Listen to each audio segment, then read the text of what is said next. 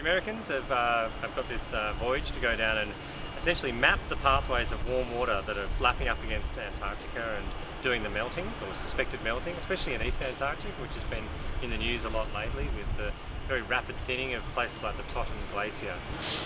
Well, the, uh, the seal is effectively like a, an oceanographer, just working throughout the year. Uh, instead of the, the 30 to 40 days that we have to go down there and do the work, we come home, the seals stay out there and continue to do our work in essence. So they're just collecting more information in different regions, in different times of the year as well that we're not down there. So it's like an automatic weather station, if you like, compared to an actual meteorologist going out and doing its measurements.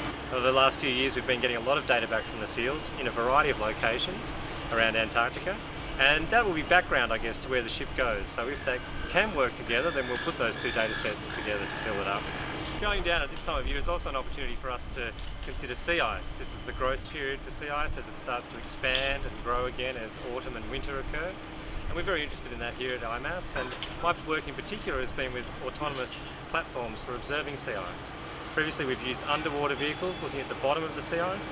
We'd also like to try and get these platforms above, so the drones, to actually map the surface of the sea ice. Ideally one day working in concert with each other.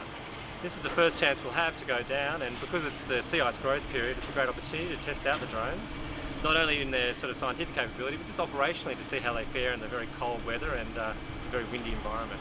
My name is Darren Turner. I work here at the University of Tasmania, member of the Terraluma research team, and we look at using unmanned aerial vehicles for um, remote sensing of the environment. This is the DJI S1000. It's the uh, same as the UAV that Guy is taking to Antarctica to research sea ice.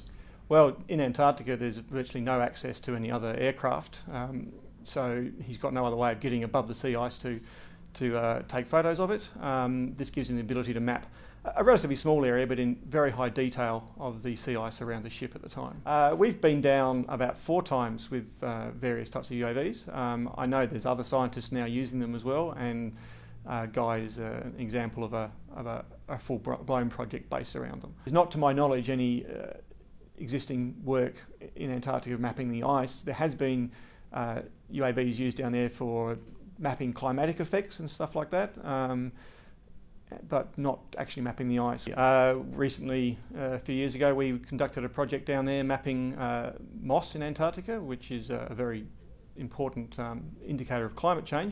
When there are aircraft available, like helicopters, they're quite often tasked on um, support duties, moving cargo around and stuff. Uh, so, and, and, they're obviously very expensive to run. It was uh, the ability to use the UAV over any other facility, which uh, really was the powerful part, part of the project.